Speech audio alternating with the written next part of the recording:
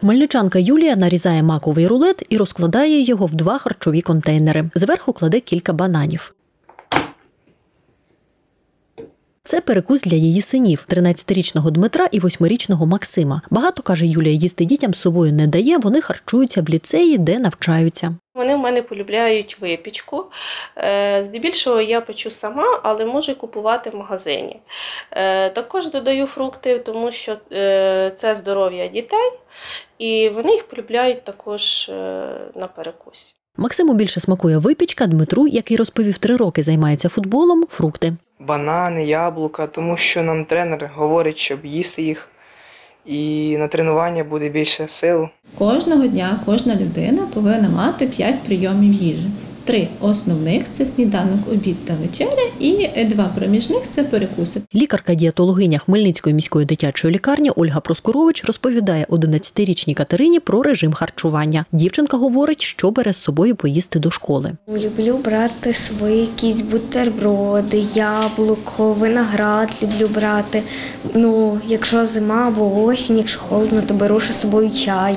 Так в основному беру воду. Найбільше каже Катерина, любить перекусити бутерброда за домашнім рецептом. Намасти тоненьким слоєм масла, покласти авокадо і посипати солью.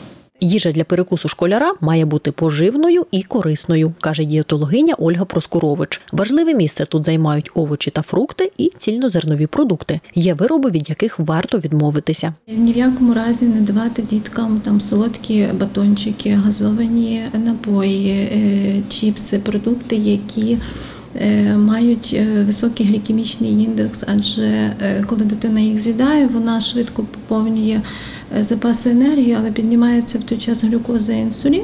Дитина, начебто, відчуває стрибок енергії, але буквально за півгодини стає е, голодною.